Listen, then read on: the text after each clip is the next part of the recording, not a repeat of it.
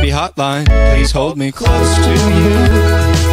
Baby flatline, still time to do it too. Baby snack time, child.